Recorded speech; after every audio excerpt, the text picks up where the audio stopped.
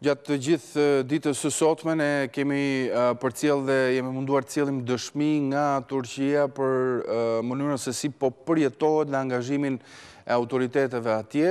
Të njëjtën gjë do të bëjmë edhe në minutat në vijim, do të shkojmë në një komunikim të drejtpërdrejtë, na bashkohet në bisedë një Kolege e medias, Ishela Boksi është në transmetim të drejtpërdrejtë në linjë me ne tani. Ndodhet në Ankara, Ishela, apo jo? Të përshëndes. Kënaqësi që jemi në komunikim dhe faleminderit për kohën, Ishela. Faleminderit ju, faleminderit. Atëherë, situata është e rëndë, Ankara është pak më e qetë se normalisht në vende të tjera. Informacionet e fundit që kam marrë është që Komiteti i Menaxhimit të Emergjencave dhe Fatkeqësive Natyrore raporton se ka 2008 qind e tridhjetë e katër godina të rrënuara gjithsej. Dhe, dy orë më parë, gjithashtu, cnn Turk raporton se në Turqi janë një mijë e katërqind e nëntëdhjetë e tetë të vdekur dhe tetë mijë e pesëqind e tridhjetë e tetë, tridhjetë e tre, ndjesë, të plagosur. Bashkimi Europian është vënë në lëvizje për të për të dhënë ndihmën e vet. Është normalisht siç e thamë një situatë shumë e vështirë, po vazhdojnë kërkimet për të plagosur dhe të vdekur. Në situatën momentale ka mundësi që disa prej tyre të vdesin nga i ftohti, sepse në rastin konkret për shembull në Ankara pas pesë vitesh ka pasur reshje reshje kaq të rënda bore, gjë që nuk kishte ndodhur për pesë vjet pra. Gjithashtu, ushtria po dërgon nga aeroporti i Stambollit, Sabiha Gökçen dhe Esenboğa nëntëdhjetë për qind të avionëve për ndihmë dhe është fakt që është anulluar çdo fluturim, çdo fluturim në Stamboll dhe Ankara, pra që informacion që kam sigurisht.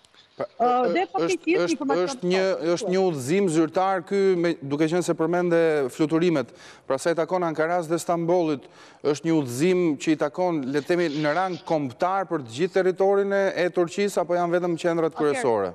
Ky informacion që kam, Arlind, është a posteriori, pra është në bazë të eksperiencës time që përjetova dhe të gjithë njerëzve të tjerë që ishin në këto aeroporte, pra Sabiha Gökçen, aeroporti i Stambollit dhe dhe po dhe i Ankarasë që ishte a posteriori gjëja që dua të shtoj një informacion ekstra është që keqbërësit po shfrytëzojnë rastin në vendin ku ka ndodhur në vendin ku ka rënë tërmeti po shfrytëzojnë rastin për të vjedhur banesa për të vjedhur supermarkete dhe kjo është mendoj e tmerrshme por është gjë që ndodh Gjithashtu, qendrat në Ankara, momentalisht, të gjitha qendrat tregtare, dyqanet, lokalet, janë mbyllur para kohe sepse nuk kanë asnjë lloj sigurie se çfarë do ndodhi.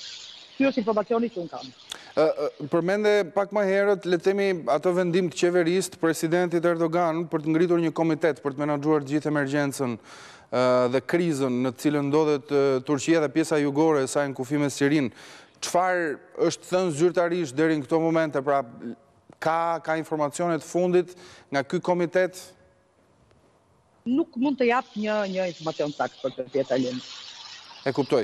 Ndërkohë, dihet që tërmetet, pra kemi përfituar dhe një farë kulture, duke qenë se edhe Shqipëria është me, me një farë eksperience të saj në gjithë këtë ngjarje. Jo, jo më larg se në vitin 2019 ne përjetuam një, të njëjtën fatkeqësi, të njëjtën tragjedi. Ka patur paslëkundje të tjera, pra çfarë mund të raportojmë në lidhje me këtë pjesë, tërmetet dihet që pasohen nga paslëkundjet? Ka pas, ka paslëkundje të tjera dhe pritet që nesër të ketë një tërmet tjetër, me ça kanë me ça kanë kanë raportu instancat qeveritare.